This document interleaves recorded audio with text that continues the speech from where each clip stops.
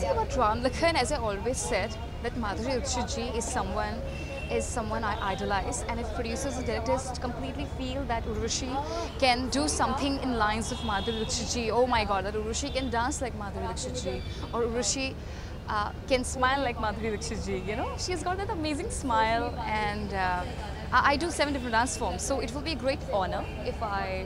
I mean, if they really think about it, so. Hi everybody, I'm Shah Rukh Khan and watch me only on facebook.com slash business of cinema.